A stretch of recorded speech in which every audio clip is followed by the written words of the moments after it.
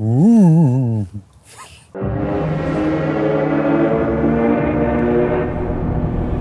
I told you of a phantom engine with no pulse, no vibration, smoother than a new beamer, yet long buried for some reason, wouldn't you reopen Pandora's box?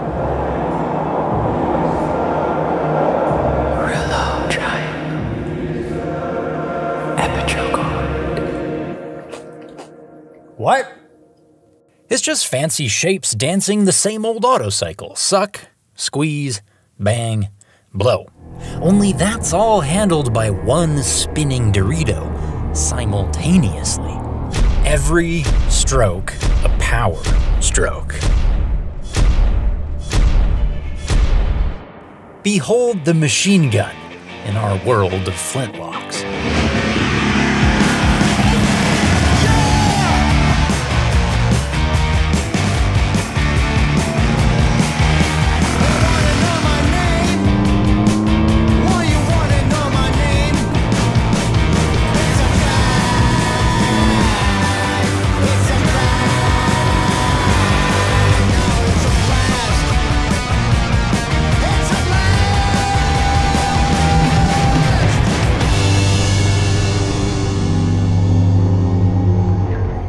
Why there's no vibration, because there is no piston, no reciprocating mass. No need for a crankshaft to jerk around with motion conversion, nor valves, lifters, no cam chain, no cams. There's a carb and a spark plug, and that's all it need to borrow from any other engine. Well, that doesn't sound bad at all. Come on, baby. You want to ride my Wankel?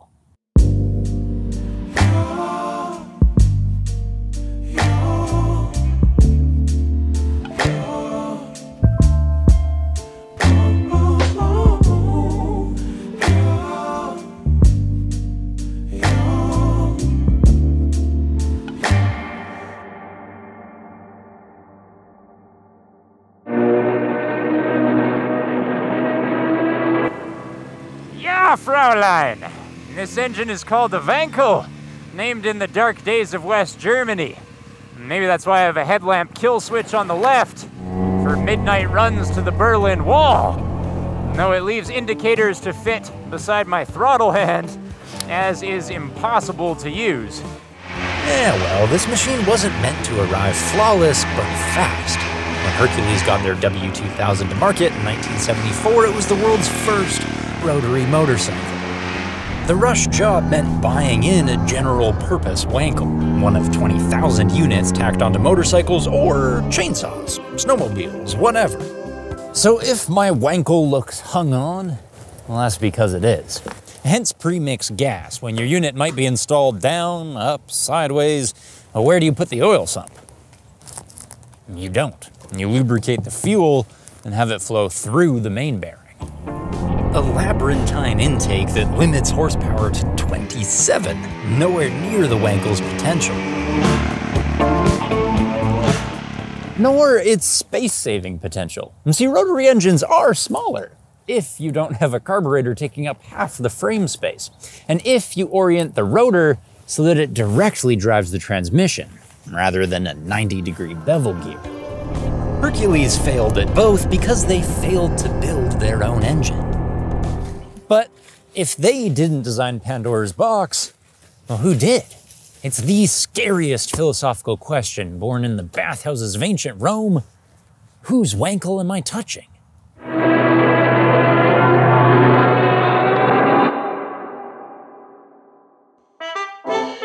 Meet Felix Wankel, geometry genius and complete wanker.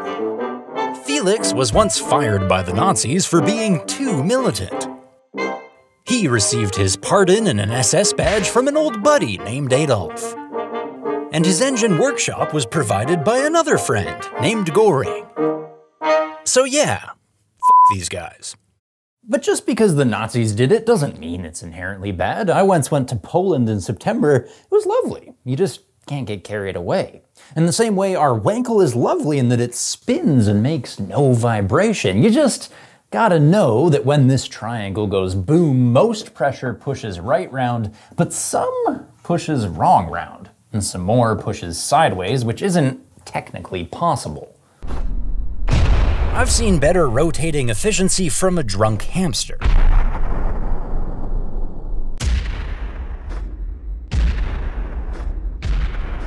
Now, to some extent, we can dig a cavity to give combustion more of a barn door to push against.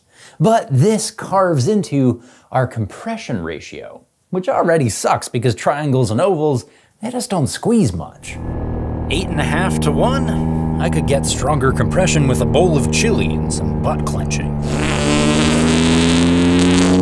So forget torque, forget fuel efficiency. The ideal Wankel is a lightweight plaything that revs high to make power and really benefits from a smaller, vibration-free engine. Motorcycles. How did this not catch on?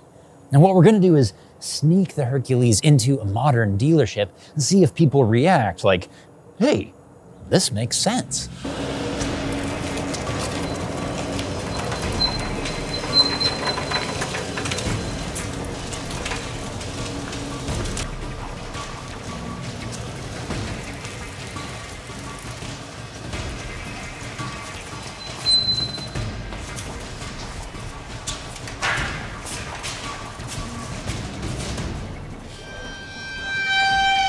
Might just sneak it to the front so they're more likely to notice.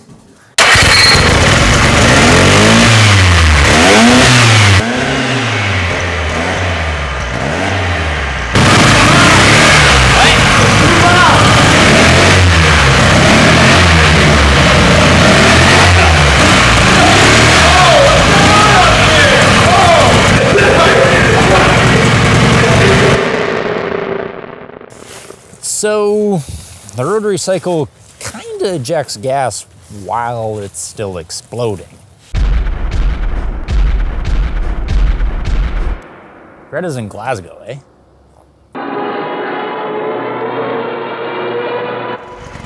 At 25 to 1 oil, it's an environmental disaster. But how else do you lubricate seals that neither sit, nor spin, nor reciprocate, but oscillate? And that is why people think this engine is cursed. They consider Wankel's doodle the stuff of paper, not pavement, because the man never earned an engineer certificate or a driver's license. Just paper. Our W2000 crumples when insurance companies decide its 294cc combustion chamber is actually three, one on each side of a triangle rotor. Classified an 882, it's overpriced and dead on arrival. Norton buys up the pieces of that engine, fails to sell for derivatives, then also goes bankrupt. Suzuki narrowly avoids a similar fate by abandoning their rotary after 12 months. A one-year stand so shameful, legend says they dumped unsold stock in the sea off Japan. Van Veen is the last to sell a Wankel motorcycle, surviving only 38 units before they too fall. Huh. Well, Van Veen's engine came from a Citroen, which flopped so hard they bought back and crushed them all. GM, Ford, Mercedes, BMW, John Deere, Curtiss Wright. Oh, Mazda. And they spent half a century learning to machine gaping parabolas, then gave up on making Wankels work. 30 hollow licenses, good for 150 million Deutschmarks, a paper kingdom for a Nazi. Maybe the curse is real. Then all that evil flew from Pandora's box and never quite settles. See, this very Wankel birthed Norton's R&D, which is currently taking off in suicide drones. And turns out rotaries are worse than the stuff of paper. They're finally working perfectly and profitably on air. True killing machine.